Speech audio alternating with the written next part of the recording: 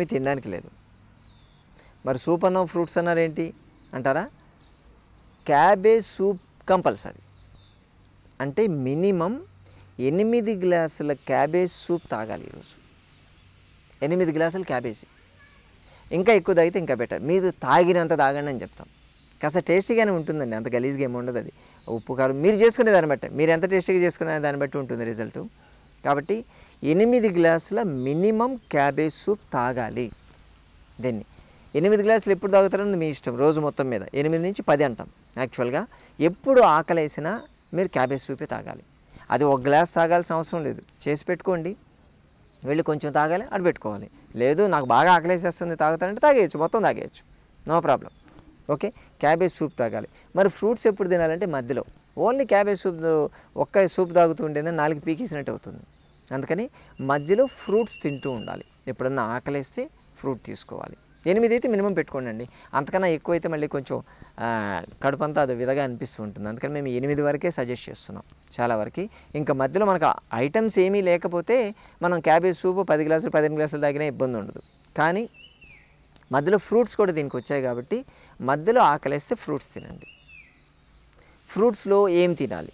ఏ fruits తినాలి? అంటే banana మాత్రం వద్దు. ఎట్టి పరిస్థితుల్లో బనానా తీసుకోవడానికి లేదు. అన్ని డైట్స్కి మనం ఆల్రెడీ సజెస్ట్ చేస్తూ ఉంటాం. బనానా తీసుకుంటే స్టార్చ్ ఎక్కువ ఉంటుంది వద్దు అని చెప్తాము. ప్లస్ వెయిట్ కూడా గెయిన్ అయ్యేటువంటి ఛాన్సెస్ ఉంటాయి కాబట్టి అది వద్దని చెప్తాం. అందుకని అన్ని రకాల ఫ్రూట్స్ అంటే ఫైబర్ ఎక్కువ ఉండేటువంటి ఫ్రూట్స్ తీసుకోవాలి అంటాం. ఫైబర్ ఎక్కువ అంటే ఏంటి? పైనాపిల్. ఫస్ట్ ప్రిఫరెన్స్ పైనాపిల్ ఇస్తాం మేము. ఎందుకంటే చాలా ఎక్కువ ఫైబర్ ఉంటుంది దానికి. పైనాపిల్ తీసుకోవచ్చు. తర్వాత మోసాంబి అదే కమలాలు బత్తాయిలు. ఈ వీటిల్లో మీకు మనకు విజిబుల్ ఫైబరే కనిపిస్తూ ఉంటుంది. ఎంత పీచు ఉంటే అంత బెటర్. మామిడి పళ్ళు తినొచ్చా? తినొచ్చు. మామిడి పండు కూడా తినొచ్చు. కాకపోతే మరీ పండినటువంటి మామిడి పండు తినొద్దు. సీజన్ కాబట్టి ఇప్పుడు మామిడి పళ్ళు వస్తూ ఉంటాయి. కానీ ఎటువంటివి తీసుకోవాలి అని చెప్పి మామిడి పళ్ళ మీద మనం ఆల్రెడీ వీడియో చేస్తున్నాం. కాల్షియం కార్బైడ్ వేసింది మాత్రం వద్దు. మీకు దొరకకపోతే తినొద్దు ఈరోజు. ఎందుకంటే అసలే మనం క్లీనింగ్ చేసుకుంటూ వెయిట్ రిడక్షన్కి తీసుకునేటువంటి డైట్ ఇది. దీంట్లో మీరు కెమికల్ వేస్తే కష్టం. అందుకని మామిడి పళ్ళు యూజువల్గా వద్దని చెప్తున్నాం. ఎందుకంటే కాల్షియం కార్బైడ్ ఉంటుంది మళ్ళీ అది వచ్చేసి మీ స్టమక్ని అప్సెట్ చేసేస్తుంది కాబట్టి వద్దు. న్యాచురల్గా మీకు తోట ఉంది మీకు తెలిసిన వాళ్ళు ఎవరైనా ఇచ్చారంటే ఆ మామిడి పండు తినవచ్చు అది కూడా రెండు మాత్రమే తినాలి. అంటే ఒక టూ హండ్రెడ్ గ్రామ్స్ వరకు మామిడి పళ్ళు తీసుకోవచ్చు. ఈరోజు ఇంకంతకన్నా ఎక్కువ వద్దు. అలాగే యాపిల్స్ రెడ్ యాపిల్ కన్నా కూడా గ్రీన్ యాపిల్ తీసుకోవడం బెటర్ అంటాం. తీసుకోండి. వాటర్ మెలాన్ వద్దు మస్క్ మెలాన్ తీసుకోండి. మస్క్ మెలాన్ అంటే వైట్ది ఉంటుంది చూసారు కర్బూజా అంటారు. అది తీసుకోవచ్చు. అలాగే దూరగా పండినటువంటి బొప్పాయి పండు తీసుకోవచ్చు. అలాగే దూరగా పండినటువంటి పనస పండు కూడా తీసుకోవచ్చు. దానిమ్మ దానిమ్మ అయితే ఆలోచించకుండా ఎన్నిసార్లైనా తినొచ్చు. పండు మాత్రమే తినాలి గుర్తుపెట్టుకోండి. ఫ్రూట్ జ్యూస్ నేను చెప్పట్లేదు. No juices. మీరు ఫ్రూట్ తినకుండా ఫ్రూట్ జ్యూసెస్ తాగితే బరువు పెరుగుతారు. చాలా డేంజర్ ఉంటుంది దాంట్లో. అందుకని మీకు ఎప్పుడు ఆకలేసినా ఈ చెప్పినటువంటి ఈ ఫ్రూట్స్ని ఒలుచుకొని డైరెక్ట్గా తినాలి. దానిమ్మ పండు మీరు తినేటప్పుడు విత్తనాలు కూడా నమిలి తినాలి. కంపల్సరీ. పైన పైన ఓన్లీ రెడ్ రెడ్గా ఉండేది చప్పరించేసి విత్తనాలు ఊసేస్తారంటే వేస్ట్. దాన్ని తినడం వేస్ట్ అసలు. అలా దాంతోపాటు తింటేనే మీకు సఫిషియెంట్గా ఫైబర్ వస్తుంది. ఇక్కడ ఫస్ట్ డే మీకు ఫ్రూట్స్ తీసుకోవాలని చెప్పిన రీజన్ ఏంటంటే బాడీకి కావలసినటువంటి ఫైబర్ కావాలి. అది కూడా న్యాచురల్ ఫైబర్ కావాలి ఒకటి. రెండోది ఫ్రూట్స్ని నెగటివ్ క్యాలరీస్ ఇచ్చేటువంటి పదార్థాలు అంటాం.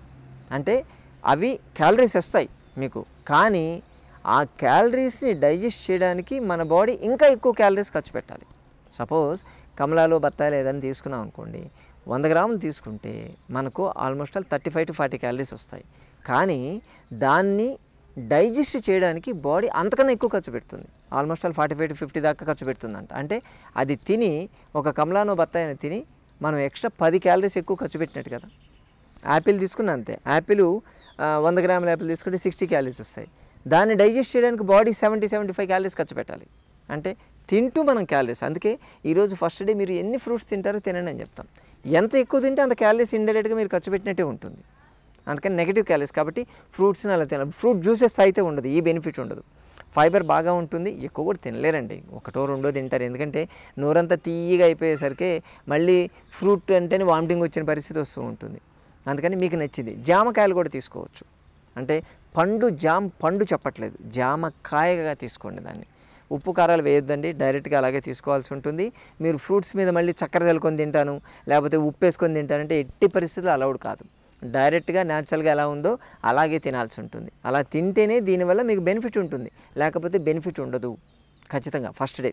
ఇది దీంతోపాటు మీకు డైజెస్టెడ్ షుగర్స్ ఉంటాయి కాబట్టి బాడీకి ఎనర్జీ ఉంటుంది. మిగతా ఎటువంటి పదార్థాలు లేవు దీంట్లో గుర్తుపెట్టుకోండి.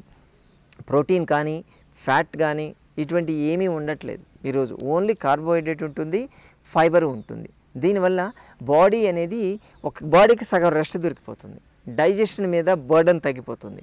దానికి తోడు మనం సూప్ ఇస్తున్నాం కాబట్టి అది స్టిమ్యులెంట్ లాగా పనిచేస్తుంది మెటబాలిక్ రేట్ బాగా పెరుగుతుంది కాబట్టి బాడీ క్లీన్సింగ్ ఎఫెక్ట్ అనేది ఆటోమేటిక్గా అదే చేసుకుంటుంది. సగం బర్డన్ ఒత్తిడి తగ్గేసరికి డైజెస్టివ్ సిస్టమ్ మీద లివర్ మీద కూడా ప్రెషర్ తగ్గుతుంది. అందుకని ఫ్యాట్ మెటబాలజీ అనేది ట్రిగ్గర్ అయ్యేటువంటి డే ఈరోజు.